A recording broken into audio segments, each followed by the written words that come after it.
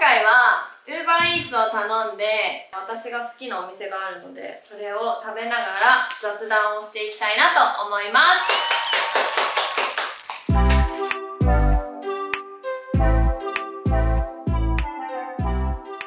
私がねすごく大好きなお店があってチーパオっていうお店なんですけど7に宝って書くお店なんですね。犬屋さんのキャラクターにさ、尻尾っていうの。犬屋さんのキャラクターの尻尾も7に宝って書くの。で、それからはもうチーパオのこと私の中では尻尾なのよ。チーパオなんだけどね、本当は。食べてみたいなって思った方は、チーパオで検索してみてください。PR でもなんでもないです。チーパオのあの、注文の仕方が一番最初なんか難しかったですね。びっくりだった？うん。葉野菜、キノコ、ヤングコーンとかもあります。あヤングコーンとかもあるね。とかそういうものがたくさんこうカゴにそれぞれ分かれて入ってるので。しめじとかまいたけとかいっぱいわーってあってその中から自分が食べたいものをチョイスしてボウルの中に入れてって基本的には春雨なんだけど私は白滝にいつも変えてもらって白滝にして食べるの。でそこがねもうほんと好きで。これあの白滝。こんにゃくの麺え、今日は何頼んだんですか？今日は4辛です。おー。今日は4辛を頼みました。辛いのが好きなのでただの激辛の動画を見てくださった皆さんはもしかしたら辛いの得意じゃないじゃんって思ってる方がね いるかもしれないけど基本的に辛いのは好きなんですよ。これパクチー。パクチーはすんごい大量だと食べられないんですけど少量だとすごい好きなんですよ。ニンニクも入れよう。あー美味しそう。はいいただきます。うんうんうん。本当に美味しいわ。プルタックだっけ？私たちもさ辛いのやったじゃん。やった。辛かったよね。あれうまかったね。うん。涙止まらなかった。本当に。あの動画上がってきたやつ何回見ても面白かった。ねうちがちそんだけど辛いの何しようね次。ペヤングのやつやってほしいな。あの極辛みたいなやつやってみる？うん多分。多分。次の日何もない日でそうだね。うん。どっちが早く食べれるかっていうのをやって食べ始めましょこの前のあれラジオ聞きました。淡路島放送局のうんパーソナルカラー診断。パーソナルカラー診断ってやったことある？ない。ないよね。でもなんかずっと気になってて私はパーソナルカラー診断と骨格診断が気になってたのね。でそしたらなんかあじゃあパーソナルカラー診断やりましょうかって言ってくれて番組の放送される前に診断をねいろいろしてもらったりとか放送中にももちろんしてもらったんだけど私もともとそのパーソナルカラーとかを受ける前に自分が赤と青は、まあ、勝負服じゃないけどすごく大事なイベントだったりとかかっこつけたい時は 赤のドレスとか青のドレスっていうのを選ぶことがすごく多かったんですよ。だから自分の中でも赤と青がすごく好きって思ってたんですよね。黄色。ちょっとくすんでる黄色。似合わないから好きじゃなかったんですよ。いろいろとこう見てもらってたらそのくすんでる黄色が合ってますねってなって似合ってる色の中に入ってたのよ。それを知らなかったら私は黄色のお洋服っていうのは全部排除して生活してたからあ良くないなと思って黄色の洋服とかもねなんかそれから選ぶようになったんですよね。すごくない？そう。パーソナルカラー診断でちゃんとなんかこれぐらいの布みたいなのがあってそれをこう肩にかけるんですよね。でそれで1枚ずつめくっていってじゃあ赤黄色ピンク白とか。赤の中でももう何十種類ってあるからそれをこう綺麗にめくってって顔の映り方とかそういうのを見てもらったりとかするんですけどメイクオレンジリップってあんま使わなかったんですよ。オレンジがすごく似合いますよってなってからオレンジのリップしか塗ってないから。今日もだからオレンジのリップを塗っててそれはパーソナルカラー診断で学んだことをそのまま活かして生きてる。自分に少し自信が出るんだよね。今日はいつもよりそのオレンジのリップをつけてるからちょっと顔色がいいんじゃないかなとか今日は洋服じゃ例えば赤とか青着てるから自分の勝負服の色だし大丈夫みたいなマインドが変わるの。フファッション好きだけどどう合わせたらいいんだろうとか思う方がいたらパーソナルカラー診断をね一回やってみた方がいいんじゃないかなって思った個人的には。面白かったよ。聞いてても面白かった。うん。めちゃくちゃ面白い。え骨格もやったんですか？骨格やってないの。そうですよね。だから骨格もやりたい。YouTube で？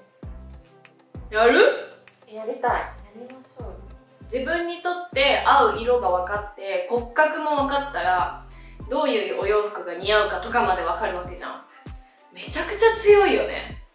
だから骨格診断やりたいなーってずっと思ってます。でもなんかラジオの時はなんかスッとしてる？声しか聞こえないからだけど、なんかなんてなんていうの？声がで今すんごい言葉選んでるよ。バレちゃった。よそ行きな声。よそ行きなあよそ行きな声してる？声だけ聞くからかな。あと関西弁っていうのもあるかも。ああ関西弁で喋ってるね。ラジオは。ラジオでは関西弁でね喋ってるんですよ。関西弁可愛いからいいよね。淡路弁になるからさ。あ伝わんない言葉とかもあるよねやっぱり。あれなんなんだっけ？淡路島の友達がこういう方言言ってましたみたいな。うん。悔しいみたいな言葉。悔しいみたいそう。な歯がいあそうそうそう。うわむちゃくちゃ歯がいわとか言う。歯がゆいとか悔しいとか。あうん。そういうことかな。あと何言うかな。シャンシャンしてとか。ーえ？シャンシャン。シャンシャンなんだと思う？手洗って。あ違う。ちゃんとして。うーん。ショコちゃんにもし私が言うとしたらもうショコちゃんシャンシャンして。いやわかんない。っていう。指ここさしたよね。片付けて。あー違う。え それかと思ったよいつものように。むず。っむずいよね。正解はショコちゃんも早くしてって。いや早くしての方早くない？急いでってこと？うんうんうん。うん急いでとか早くしてとかもう早くしないともう遅れちゃうよみたいな。せかしてること。へえうん。もうシャンシャンして早く早く。みたいな。へえ感じこの間通じなかった言葉があるから言っていい？直近で淡路弁で伝わらなかった言葉なんだけど。弱るな。弱る？ぁ、うん、弱るなぁって。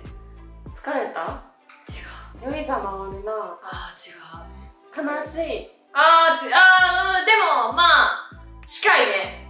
正解は困る。弱る？弱るね。来れないと弱るわって言ったりするんだけど。来れないと困るわっていうことを来れないともうめちゃめちゃ弱るわって言うたりするの。それがもう伝わんないの。パッパして。ポロって。ん？ポロってって。何やってんの？今。今ショコちゃんは。ポロって。ポロってってずっと私の前でこうやってやって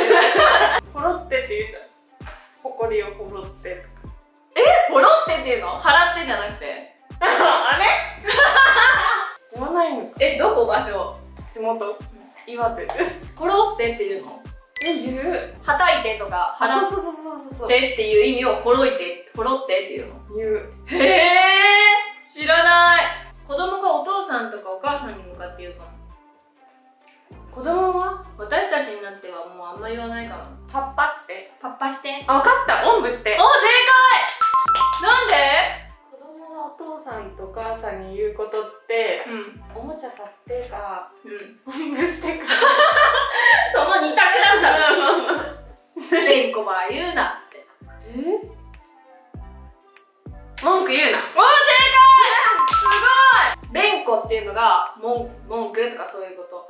ばがばっかり。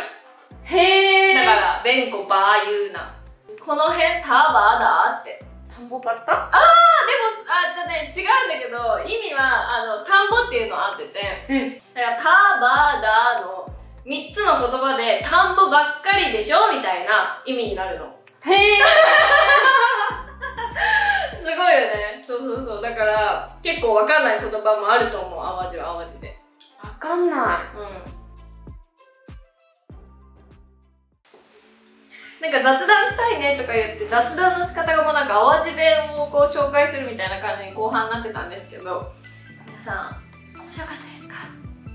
はい。あのこの動画がいいなと思ったらグッドボタンそしてチャンネル登録もよろしくお願いいたします。